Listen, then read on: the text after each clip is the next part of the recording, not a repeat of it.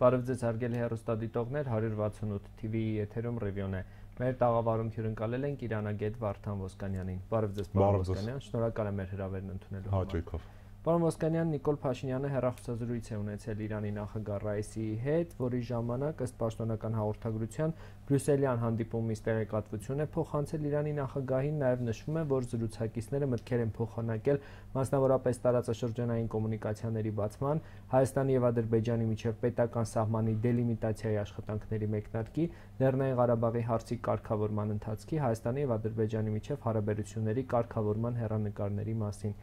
ինչ դիրքորոշում ունի Իրանը վերոնշյալ հարցերի շուրջ եւ ինչ process-ներ են առհասարակ ընթանում։ Իրանի հետ հարաբերությունների համատեքստում Արցախյան հիմնախնդիրը չափազանց կարևոր է, որովհետեւ գիտեք, Իրանը մեր տարածաշրջանում այն շահագրգիռ կողմերից մեկն է, որը ըստ էության ակնդետ հետևում է բոլոր գործընթացներին, որովհետև այդ գործընթացները ուղղակիորեն առնչվում են հենց Իրանի Իսլամական Հանրապետության, հաշվի առնելով այն, որ Իրանը այն բացառիկ պետությունն է, որը սահմանակից է թե Հայաստանի Հանրապետությանը, թե Ադրբեջանական Հանրապետությանը, ընդ որում իր երկու հատվածներով Նախիջևանյան եւ այսպես կոչված Մայրցամաքային, եւ թե սահմանակից էր Արցախին, հիմա այդ տարածքները բռնազավթված են Ադրբեջանի կողմից Մերձարաքսյան գոտին, ուստի իրանցիների համար ցանկացած զարգացում չափազանց կարևոր է։ Առավել եւս, եթե հաշվի առնենք այն, որ Իրանը փաստացիորեն միակ պետությունն է, որը ոչ միայն ռետորաբանության մակարդակում, այլ նաև գործողությունների, զորավարժությունները դրա առհավատչյան են, ապացուցել է, որ Հայաստանի Հանրապետության տարածքային ամբողջականությունը իր համար կարմիր գիծ է եւ որևէ պարագայում իրանական կողմը թույլ չի տա եւ դա հայտարարվել է գրեթե բոլոր մակարդակներով ամենաբարձրից սկսած միջև միջին օղակի պաշտոնյաներ թույլ չի տա որպիսի Հայաստանի նկատմամբ լինեն ոտնձգություններ թուրք-ադրբեջանական դաշինքի կողմից։ Հետևաբար Իրանի հետ հարաբերությունները նաև Արցախյան կարգավորման գործընթացի նկատի առնելով հույժ կարևոր են, չափազանց կարևոր են եւ ակնհայտ է, որ ինչ որ առումով իրանցիների հետ խորհրդակցելը այս խնդրով կարծեք թե ուշացած է, որովհետեւ Բրյուսելյան հանդիպումից բավական ժամանակ է անցել, ավելի օպերատիվ պետք է աշխատել իրանական կողմի հետ։ Դուք տեսնում եք որևէ աշխատանք Հայաստանի իշխանությունների կողմից հանդիպումներ են կարծես թե ընթանում հերախոսազրույցներ եւ այլն, դա բավարար է։ Մենք պետք է դատենք գործերով։ Ինչպիսի առաջընթաց կա դիցուկ մի շարք կենսական նշանակություն ունեցող խնդիրներում։ Մասնավորապես խոսքը վերաբերում է Իրանի հետ, ասենք օրինակ անվտանգային ոլորտում համագործակցությանը։ Պարզ է, չէ, որ իրանցիները շահագրգիռ են, որպիսի Հայաստանի հետ ձևավորվի անվտանգային համագործակցության հարթակ եւ շատ ավելի շահագրգիռ են որ, որպիսի այդ հարթակը լինի երրակողմ Ռուսաստանի ներգրավմամբ։ Ինչ քայլեր են այս ուղությամբ արվում միայն Աստծուն է հայտնի համենայն դեպս բաց տեղեկատվություն, parze որ անվտանգության խնդիրներին առնչվող չափազանց նուրբ խնդիրներ կան, նուրբ հարցեր կան, որոնց վերաբերյալ պարտադիր չէ բաց տեղեկատվության տրամադրումը, բայց գոնե ընդհանուր ֆոնը խորապատկերը պետք է տեսանելի լինի, իսկ այդպիսի խորապատկեր կարծեք թե չի երևում։ Մյուս կարևոր հարցը հյուսիս-հարավ ավտոմայրուղու խնդիրը, որը բոլորը դիտարկում են տնտեսական առումով, բայց այդ մայրուղին չափազանց կարևոր է նախ եւ առաջ անվտանգային եւ աշխարհակաղակական առումով։ Այդ հատվածում կարծեք թե առաջընթաց չկան, այո խոսքեր կան, չգիտեմ, ծրագրի ավելի շատ խոսում են Նախիջևանով Իրան գնալու մասին, քան հյուսիս-հարավի մասին։ Դա էլ կա, հիմա խոսվում է դրա մասին, իրանցիները կողմ են, որպիսի իրանական կողմից ջուլֆա, ջուղան Ախիջևանի տարածքում եւ երասխ երկաթգիծը աշխատի, բայց իրանցիները նաեւ հայտարարել են, շատ հստակորեն են դա արձանագրել նաեւ դեսպանի մակարդակով, որ դա չպետք է դիտարկվի որպես հիմնական ճանապարհ Իրանի եւ Հայաստանի միջև, այսինքն չպետք է դառնա ըստ էության Սյունիքը շրջանցող այլընտրանք եւ Սյունիքով ցամաքային ուղղակի կապը Իրանի հետ, թե Հայաստանի Հանրապետության, թե եւ Իրանի եւ թե Իրանի Իսլամական Հանրապետության համար կենսական նշանակություն է։ Մյուս կողմից, եթե դիտարկենք մեկ այլ կարևոր խնդիր, Մեղրի ազատ տնտեսական գոտին է, դա էլ կրկին միայն տնտեսական հարց չէ, որովհետեւ այժմ Սյունիքի նկատմամբ թշնամական նկարտումների համատեքստում հենց Սյունիքում իրանական նաև տնտեսական ներկայությունը որոշակիորեն ապահովելու է նաև անվտանգային բաղադրիչը։ Նաև կապանում հյուպատոսություն եւ կապանում հյուպատոսության բացելու խնդիրը կարծեք թե համաձայնությունները կայացվել են, բայց դեռևս այդ հյուպատոսությունը չի բացվել։ Հայկական կողմից առնվազն պետք է հնարավորին դյուրացվի այդ գործընթացը եւ Հայաստանն է, որ պետք է ստեղծի շատ պատեհ պայմաններ, որպեսզի իրանցիները ավելի արագ գործեն եւ այդտեղ այդ հյուպատոսությունը ունենանք, որովհետեւ իրանական նաեւ դիվանագիտական ներկայությունը Սյունիքում կարող է հանդիսանալ զսպող այն գործիքներից մեկը, որի կիրառությամբ իրանական կողմը նաեւ կփորձի հասնել ադրբեջանա-թուրքական դաշինքի ախորժակի զսպմանը նկատի ունեք Զանգեզուրի միջանցքը, որովհետև Ալիևն ասում է, որ Բրյուսելում պայմանավորվածություն է ձեռք բերվել դրա վերաբերյալ։ Տեսեք, Բաքվի բռնապետը հստակորեն խոսում է եւ Էրդողանի հետ հեռախոսազրույցում հայտարարում է, որ դրա վերաբերյալ համաձայնություն է ձեռք բերվել։ Մեզանում տարածվել է նաև ոչ միայն իշխանական շրջանակներում, ընդհանրապես այսպես կոչված միջանցքային տրամաբանություն եզրույթը։ Ինչ միջանցքային տրամաբանություն հստակորեն պետք է հայտարարվի, որ որևէ միջանցք Հայաստանի Հանրապետության տարածքով չի լինելու, լինելու է ճանապարհ ոչ միջանցքային տրամաբանությամբ, հայկական խաչմերուկ տրամաբանությամբ, հասկանում եք, լեզվա ասեմ այսպես խաղի արդյունքում կամ հետևանքով ավելի ճիշտ կորում է բուն իմաստը։ Հետևաբար շատ հստակ Հայաստանը պետք է արձանագրի եւ գործի այդ ուղությամբ, որ որևէ ճանապարհ, որը կունենա միջանցքի կարգավիճակ, Ադրբեջանը կամ Թուրքիան չի կարող ունենալ Հայաստանի Հանրապետության տարածքում։ Դա ըստ էության ուղղակի սպառնալիք է մեր ազգային անվտանգության համար եւ ուղղակի սպառնալիք է նաեւ Իրանի անվտանգության համար։ Այդ դեպքում նոյեմբերի 9-ի համաձայնագրի այդ հայտարարության տեքստի մեջ արկա 9-րդ կետը ինչպես է լուծվելու։ Տեսեք, ես կարծում եմ, որ դրանից առաջ եղած կետերի լուծումը պետք է տրվի, որովհետեւ հայկական կողմը կատարել է գրեթե բոլոր բոլոր կետերը, որոնք նախանշված են այդ հայտարարության մեջ, դրանից հետո այլ փաստաթղթերում ադրբեջանական կողմը չի կատարել դրա թերևս այն միակ հայանպաստ, եթե դա կարելի է հայանպաստ կոչել կետը ռազմագերիների վերադարձի վերաբերյալ։ Ոստի ես կարծում եմ, որ մինչև հասնել 9-րդ կետին, 9-րդ կետն էլ հեղեղուկ ձևակերպում ունի եւ տարընթերցումների տեղիք է տալիս, Մինչև դրան հասնելը պետք է մյուս բոլոր կետերը կատարվեն, իսկ այդ կետերը Ադրբեջանը չի կատարել, մասնավորապես իմ նշած կետը։ Հիմա այս համատեքստում արդյոք Հայաստանի Հանրապետության համար առաջնային է ապահովել ճակերտավոր մայրցամաքային Ադրբեջանի կապը Նախիջևանի հետ, թե առաջնային է ապահովել Հայաստանի Հանրապետության անվտանգ ապահով ցամաքային կապը Իրանի հետ։ Բնական է, որ այս հարցի պատասխանը միանշանակ է երկրորդն է առաջին իշխանությունների մասին Հայաստանի նրանք անգամ իրենց առաջարկներում Ադրբեջանի գերիների մասին չեն խոսել, այդ Իրան-Հայաստան կապի մասին չեն խոսում տեսեք պետք է այդ ուղղությամբ աշխատանք տարվի, որովհետև խոսվում էր 200-250 միլիոն դոլար ներդրման մասին, որպիսի Մեղրի տարածաշրջանով Ադրբեջանի երկու հատվածները իրականում ըստ էության երկու կողմերում էր մեր պատմական հայրենիքի բռնազավթված հատվածներ, թե Նախիջևանում, թե այն տարածքը, որը Արցախից է բռնազավթվել 44 օրյա պատերազմի ընթացքում, դրա մասին, բայց հյուսիս հարավի վերաբերյալ կոնկրետ գումարի մասին չի խոսվում։ Ինչու պետք է Հայաստանը ջանք երանգ ներուժ ներդնի ապահովելու այդ կապը եւ նույն ջանքը երանդը եւ ներուժը չկիրառի, որpիսի ապահովի մեզ համար կենսական նշանակության այդ հյուսիս հարավ ճանապարհի շինարարությունը, որովհետեւ դա կարեւոր է ոչ միայն Իրանի հետ ցամաքային կապի առումով, դա կարեւոր է Սյունիքի մարզի եւ Հայաստանի Հանրապետության մնացյալ հատվածի հետ ճանապարհային կապ ապահովելու համար, որովհետեւ գիտեք, Գորիս Կապան ավտոճանապարհի Որոտանի հատվածը կրկին ըստ էության բռնազավթվել է թշնամու կողմից եւ այդ ճանապարհը նաեւ մեր քաղաքացիների համար դարձել է անանցանելի այլընտրանքային կոչված ճանապարհը, որի գովքներ արվում, չգիտես ինչու, չգիտես ինչու։ Հասկանում եք, տվյալ պահին կոնկրետ, ասեմ այսպես, դիվիդենդներ քաղելու նպատակով խոսվում էր այլ ընտրանքային ճանապարհ, այլ ընտրանքային ճանապարհը ցավալիորեն քանդվել է։ Քանդվել է ուղղակի ծածկույթը լուսանկարներ հրապարակվեցին ծածկույթը քանդված վիճակում է եւ այդ ճանապարհը չի համապատասխանում նաեւ տեխնիկական այն չափորոշիչներին, որոնք անհրաժեշտ են դիցուկ ծանր բեռնատարների անցման Դրա համար հրաժարվում են անգամ իրանցի վարորդները իրանցիների դատելով այդ Ադրբեջան կոչվող կեղծ պետության մաքսային ծառայության տվյալներից պատկերացնում եք լկտիությունը Հայաստանի Հանրապետությունից ճանապարհ են զավթում, մաքսատուն են դնում եւ դեռ հրապարակում են այդ մաքսատան եկամուտների, ասեմ այսպես, հաշվետվությունը, որը բավական նշանակալի թիվ է։ Դա ինչ է ցույց տալիս։ Ցույց է տալիս, որ իրանական բեռնատարները, որոնք ունակ չեն անցնելու այդ այլընտրանքային կոչվող ճանապարհով, ի վիճակի չեն ուղակի դա անելու կամ մեծ բարդությունները դա պահանջվում, անցնում են այդտեղ վճարում են գումար ադրբեջանական կոչվող իբր մաքսատանը եւ բնականաբար այդ վճարված գումարները ի վերջո վճարում ենք մենք Հայաստանի Հանրապետության քաղաքացիներս, որովհետև այդ ապրանքը ավելի թանկ է հասնում Երևան եւ բնականաբար ավելի թանկ գնով է մտնում շուկա եւ մենք ավելի թանկ գնով ենք այդ ապրանքները գնում։ Ոստի ըստ էության ստացվում է այնպես, որ անկախ մեր կամքից մենք ֆինանսավորում ենք թշնամական պետությանը, որը իր բաշի բոզուկներով եկել եւ հաստատվել է Հայաստանի Հանրապետության տարածքում։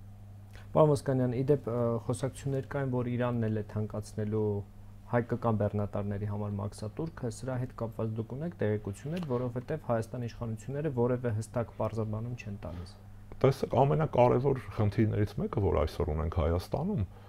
պաշտոնական տեղեկատվության հետ կապված խնդիրն է։ Ըստ էության այդ տեղեկատվությունը կամ չի լինում, կամ լինում է ուշացած, կամ լինում է այնպիսի ձևակերպումներով, որտեղ ինչպես ասում են նույնիսկ սատանան իր ոդկը կկոտրի, այսինքն անհասկանալի են ձևակերպումները, այդպես էլ པարզ չեղավ, կոնկրետ իմ համար էլ པարզ չեղավ, չեղավ չնայած ես հետևել եմ լրահոսին, թե ինչ է տեղի ունեցել, բայց այսուհանդերձ Իրանի հետ հարաբերությունների համատեքստում չափազանց անհրաժեշտ է, կենսականորեն անհրաժեշտ է, որpիսի երկու պետությունների տրանսպորտային միջոցները միմյանց տարածք մուտք գործեն եւ այդ տարածքները տրանզիտային նպատակներով հատեն 0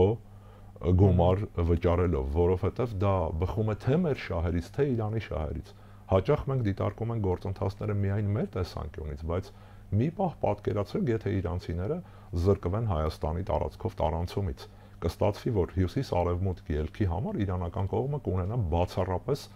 մեկ տարածք աշխարհակաղակական իմաստով արդեն իսկ միասնական դարձած տարածք թուրք-ադրբեջանական տարածքը Ոստի Հայաստանի այլընտրանքը Իրանի համար նույնպես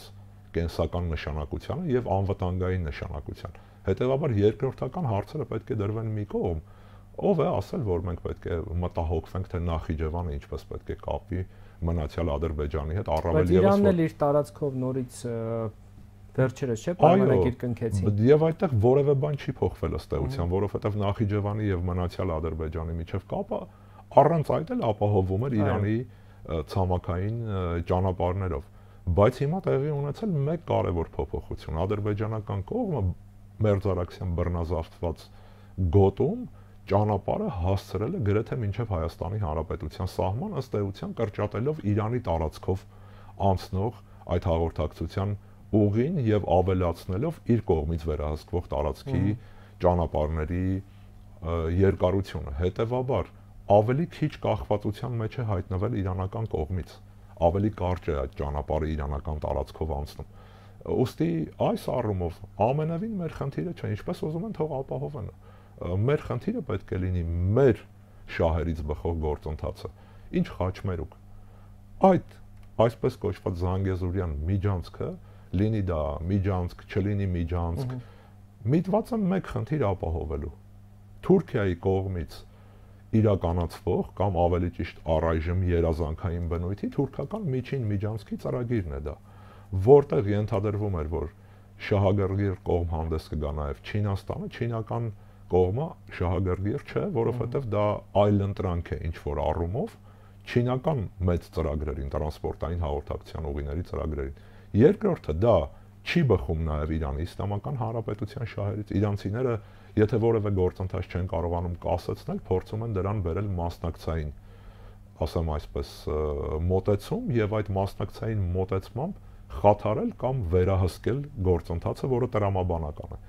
Մյուս կողմից դա միտված է Ռուսաստանի դեմ, որովհետեւ հիմա, գիտեք, Ռուսաստանն էլ գտնվելով պատժամիջոցների պայմաններում արևմուտքի կողմից հավաքական իմաստով արևմուտքի կողմից փորձ է կատարվում արևելք արևմուտք հաղորդակցությունը, որը անցնում է Ռուսաստանի տարածքով, տեղափոխել այլ ուղիներ։ Դրանցից մեկը կարող է լինել այս թուրքական միջանցքը ըստ էության դա թուրանական, պանթուրանական ծրագրի ոչ միայն տնտեսական, ոչ միայն հաղորդակցության ուղիներին առնչվող, այլ նաև աշխարհակաղակական ծրագիր է։ Հայաստանը որևէ պարագայում չի կարող եւ չպետք է դառնա Թուրքիայի պատրանքների համար պարարթող եւ այդ հողով չպետք է թուրքական ծրագրերը իրականացվեն եւ հասնեն մինչեւ կենտրոնական Ասիա, որովհետեւ դա մահաբեր է մեզ համար։ Իշխանությունները այլ կերպ են ներկայացնում հասարակության մի որոշակի զանգվածի համար, դա կարծես թե ընկալելի է դառնում, ասում են, որ մենք մեծ եկամուտներ կունենանք այդ ճանապարհը նրանց տալով։ Տեսեք, վերջին սոցիոլոգիական հարցումները ցույց են տվել, որ դա էլ մանիպուլյացիոն հնարք է։ Մեր հասարակության գերակշիռ մասը չի ցանկանում Հայաստանի Հանրապետության որևէ շահի զիջման հետևանքով Թուրքիայի կամ Ադրբեջանի հետ բարեկամություն, չգիտեմ, խաղաղություն, հարաբերությունների նորմալացում։ Եվ սա շատ բնական է։ Սա շատ բնական է եւ տեսանելի է նաեւ այդ մանիպուլյատիվ տեղեկատվության տարածումից։ Եթե դա լավ բան լիներ եւ մեր հասարակության կողմից ընկալելի, ապա այդքան մեծ մանիպուլյացիաների առարկա չէր դառնա։ Հետևաբար փորձ է կատարվում նաեւ մեր հասարակությանը խაფել դրանով։ Հիմա արդյոք Հայաստանի Հանրապետությունը պետք է փակ պահի իր սահմանները այս թշնամական պետությունների հետ։ Մենք ենք փակել, որպեսի պահենք կամ բացենք։ Մենք չենք փակել։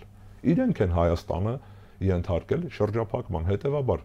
եթե կա բարի կամք, թող իրենք բացեն այդ ճանապարհները։ Այո։ Թող Թուրքիան բացի սահմանը, թող Թուրքիան գործարկի Կարս Գյումրի երկաթուղին,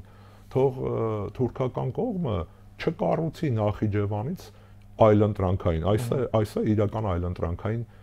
երկաթուղի է, որը ըստ էության բերելու է նրան, որ եթե եթե վերականգնվի երկաթուղային կապը Ադրբեջանի եւ Նախիջևանի միջև, ապա այնուհետև դա շարունակվելու է առանց Հայաստանի տարածքի, շարունակվելու է մինչև Թուրքիայի խորքեր։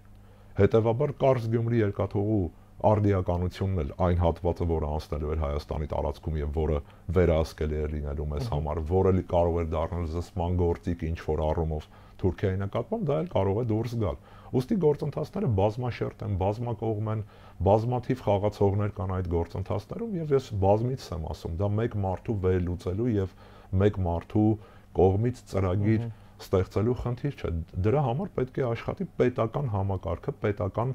կառուցակարգերը, բայց ցավալիորեն Հայաստանում գրեթե ամեն ինչ տեղի ունենում մեկ մարդի մարդու մտքում եւ մեկ մարդու որոշումներով կամքով, եթե դա կարելի է կամք կոչել։ Ընդ որում Հայաստանի բարեկամ երկրներից եկող դրական ազդակները չեն տեսնում, բայց Թուրքիայից եկող ինչ որ դրական ազդակներ են տեսնում։ Դա ինչ դրական ազդակ կարող է լինել Թուրքիայից։ Պարզը չէ, դա էլ շատ հստակ բանաձևում է։ Թուրքական կողմին արդյոք պետք է հզոր Հայաստան։ Եթե որևէ մեկը կգա եւ ինձ կապացուցի, որ այո, Թուրքիան շահագրգիռ է Հայաստանի հզորացմամբ, ապա նա ասեմ այսպես, չգիտեմ, աճպարար պետք է լինի, որովհետեւ իրականությանը դա որևէ աղերս չունի։ Ոստի թուրքական կողմից բոլոր դրական ազդակները, չակերտավոր դրական ազդակները միտված են մի բանի Հայաստանի ել ավելի թույլացման Հայաստանը Թուրքիայից կախվածության մեջ գծման, սա շատ པարզ ճշմարտություն է, չէ՞ կարծում լրացուցիչ բացատրությունների կարիք էլ չկա։ Այո։ Ադրբեջանի նախագահ Ալիևը երեք հայտարարեց, որ Ադրբեջանը մտադիր է ընդլայնել իր ներկայությունը եվրոպական գազի շուկայում եւ կարծիքներ կան, որ Եվրոպան իրականում զոհասեղանին է դնում Հայաստանին, որ เป զի նաև իր գազային խնդիրները լուծի, այլընտրանք ռուսական գազին։ Նաև խոսում է Իրան-ԱՄՆ հարաբերությունների լոյալության մասին, ասում է, որ Իրանից էլ հնարավոր է գազի այլընտրանք լինի դեպի Եվրոպա Ռուսաստանից որքանով են ռեալ այս կանխատեսումները եւ Իրանը ինչ դերակատարություն կարող է ունենալ այս գործընթացում։ Չեմ կարծում թե իրանցիները կգնան նման գործարքի կամ կառաջադրեն այնպիսի նախապայմաններ, որոնք Իրանին ըստ էության հնարավորություն կտա ստեղծելու իր անվտանգության ապահովման համար անհրաժեշտ ամեն ինչ ներառյալ նաև միջուկային տերություն դառնալու հանգամանքը հիմա որքանով է արևմուտքը պատրաստ զիջել այս հարցում դա էլ խնդիր է կարծում եմ որ առնվազն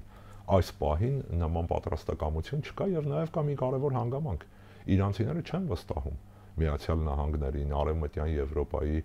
այնպիսի պետությունների, ինչպիսին դիցուկ Մեծ Բրիտանիան է, հատկապես Մեծ Բրիտանիան է, ըստի իրանական կողմը կարճաժամկետ կտրվածքով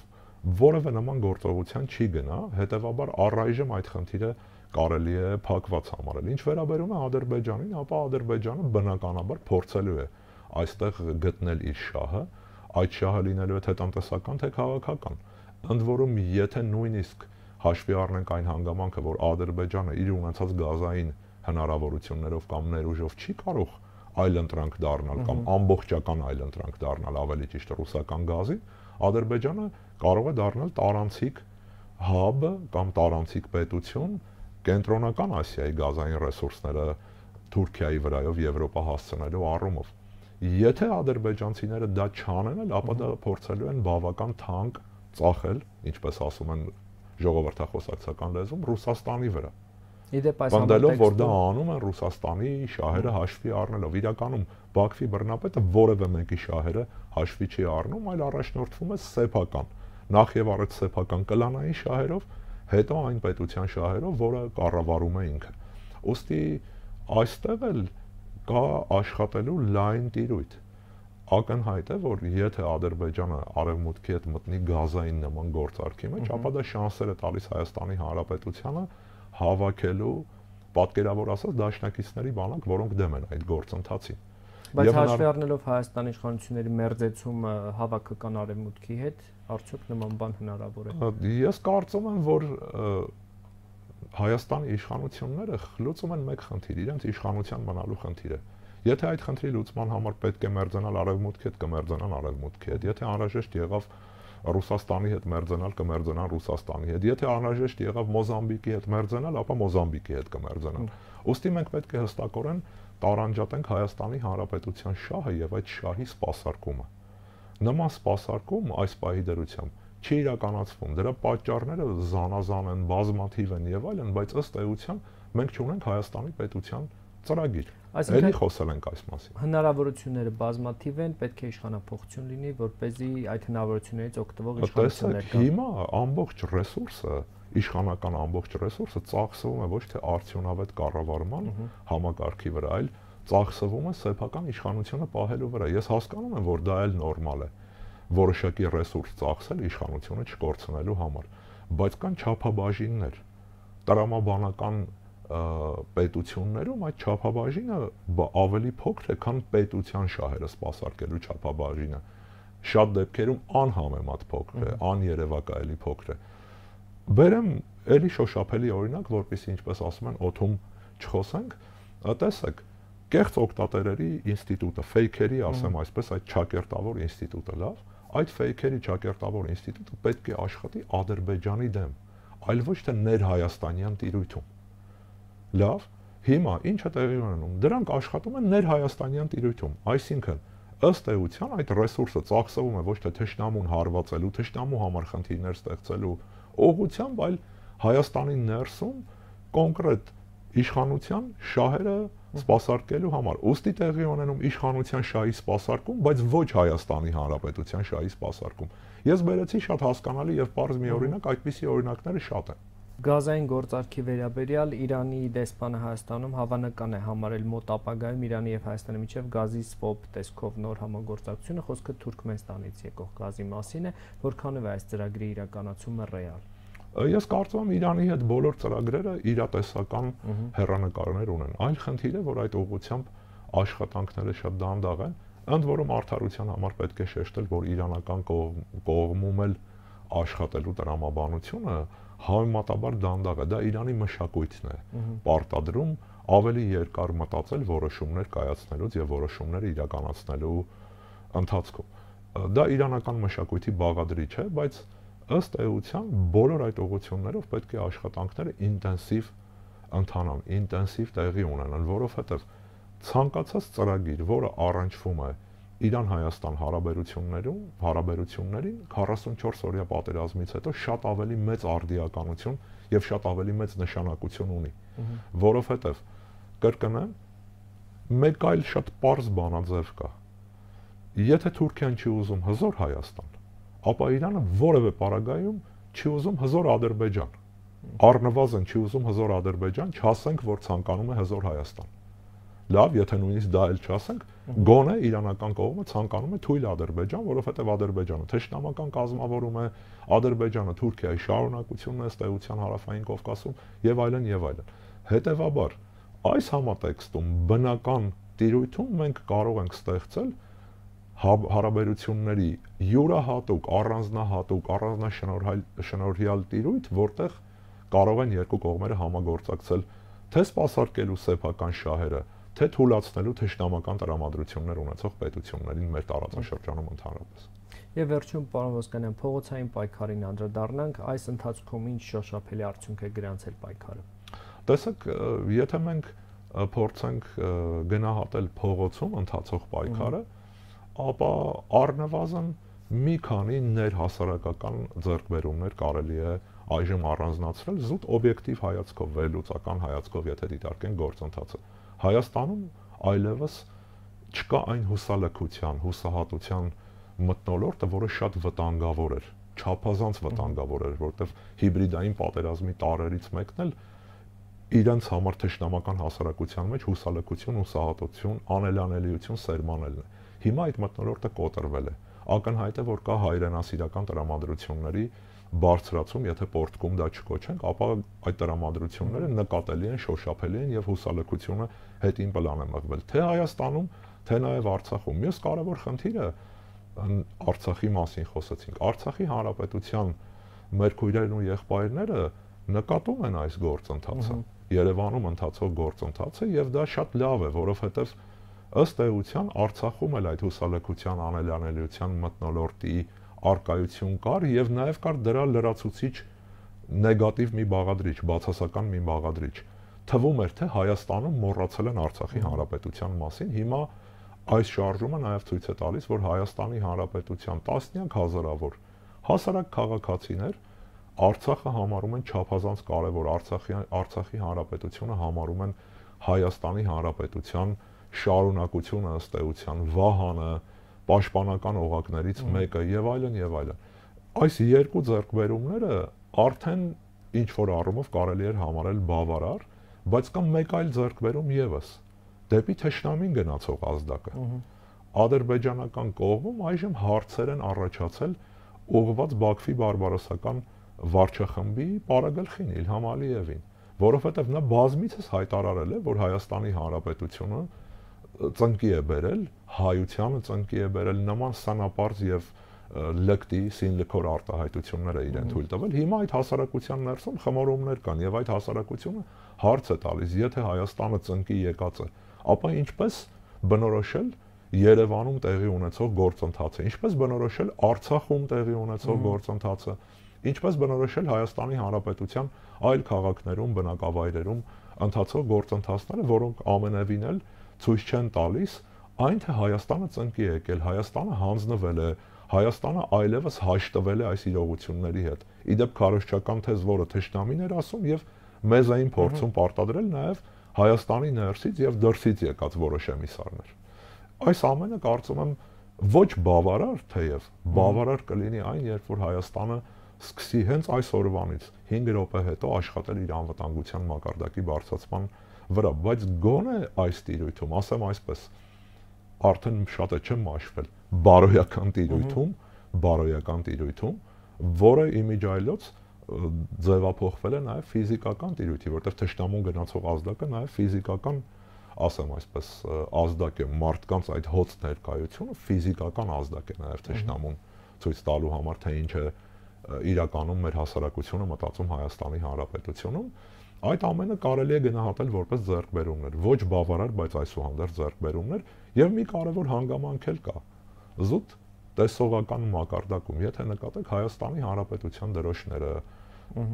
Արցախի Հանրապետության դրոշները, ընդհանրապես հայրենասիրական ատրիբուտիկան դարձել է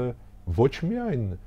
ասեմ այսպես, շատ տեսանելի, այլ նաև դարձել է ինչ որ առումով նույնիսկ մոդայիկ եւ հատկապես երիտասարդության շրջանում, ինչը շատ կարեւոր է հոգեբանական մակարդակում թոթափելու 44 օրյա պատերազմի այդ աղետի ողջ ծանրությունը։ Անշուշտ մենք նաև բարոյական տիրույթում, կոնկրետ ես բարոյական տիրույթում բավարարված կզգամ ինձ, երբ որ Ադրբեջան կոչվող արեստացին պետությունը գոյություն չունենա։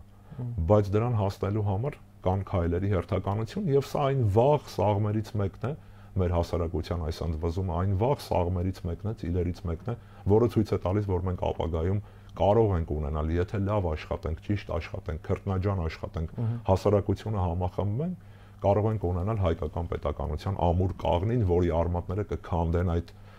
մոլախոտային գոյացությունները հարավային Կովկասում, մասնավորապես Ադրբեջան կոչվող քաղցկեղային գոյացություն։ Իդեպ քաղ տեխնոլոգները շարժման եւս մեկ հաջողություն են արձանագրում, այն որ փողոցը պատկանում է ընդդիմության այս պահին։ Դա էլ քաղ տեխնոլոգները հավանաբար իրենք ավելի լավ կգնահատեն այդ իրավիճակը։ Ես փորձեցի իմ տեսանկյունից դիտարկել գործընթացը։ Շնորհակալ եմ ձեզ հետաքրքիր զրույցի համար։ 168 TV եթերում ռևյուներ։ Հետևեք մեր հետագա թողարկումներին։